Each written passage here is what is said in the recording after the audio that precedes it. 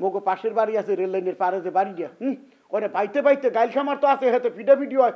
বড় ভাই লাগে ছোট ভাই পারে না একটু রোগা মানুষ তো টাহা আছে কইলাম।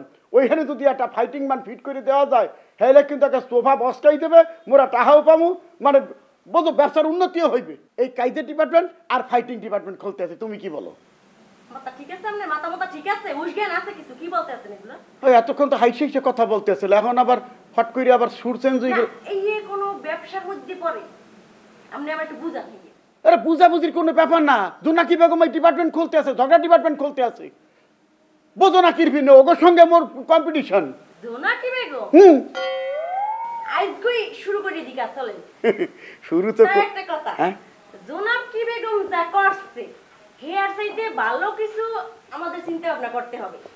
কারণ আমরা তাদের থেকে পিছনে পড়ে থাকা যাবে আরে বলো কি জোনাকি বেগম তো ওই ঝগড়া ডিপার্টমেন্ট খুলতে আছে আর মুই তো সাথে আরেকটা জোড়া দিয়ে দিছি ফাইটিং ডিপার্টমেন্টও খুলতে আছি। অটোমেটিক মানে লোক রিক্রুট করা শুরু করে দিছি।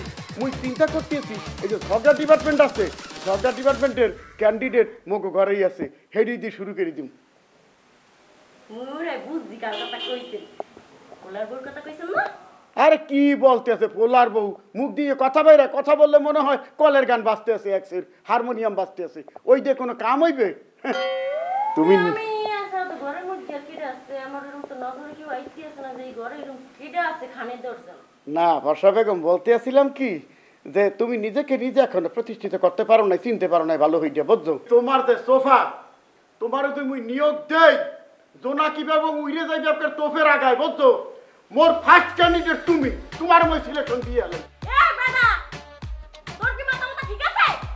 কেন হইছে কি?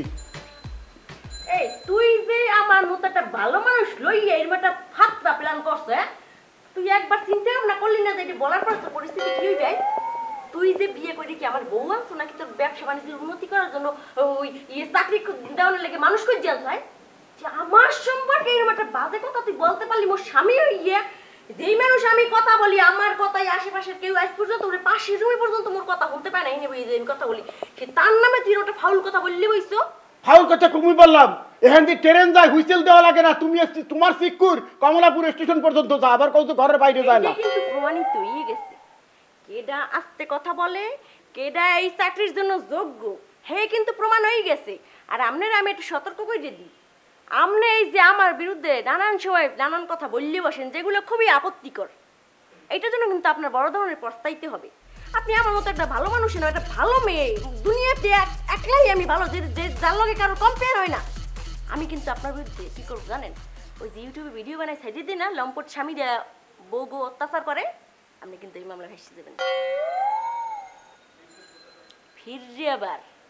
আপনি আমার লগে কোনো ধরনের ফাউল কথা বলার আগে একবার হইলেও আমার চেহারার একবার মনে করবেন, বুঝছেন?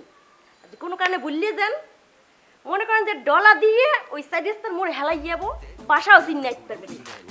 বুঝতে দেখেন আপাতত না গেলাম আপনার কথা বলছেন